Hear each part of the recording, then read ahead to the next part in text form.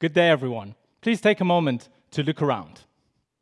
Every chair, person, this stage, everything in this room is made out of small particles called molecules.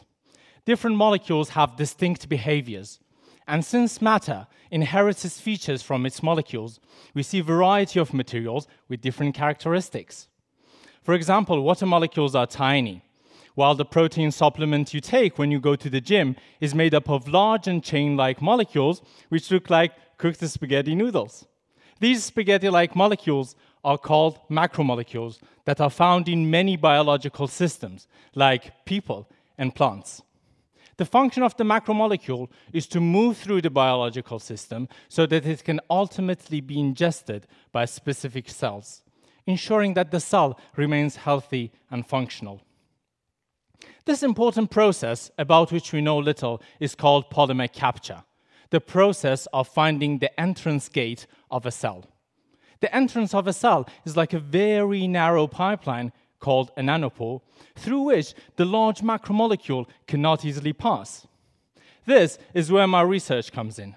I'm trying to understand how the polymer capture can be facilitated by fluid flow.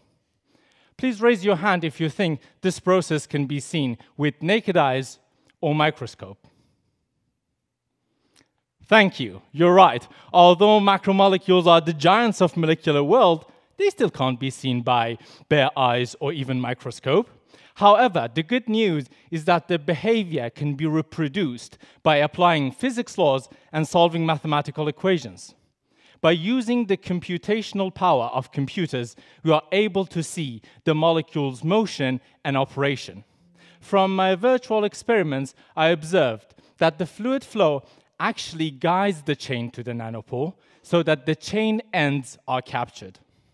Even if the chain forms a folded shape, the flow deforms it while approaching the nanopore so that an end finds the hole first. Advances in science often start with an interesting question rather than the aim to address, for example, a cure for genetic diseases. And that is certainly true of my research. But interestingly, one of the important applications of my research is in fact in this area.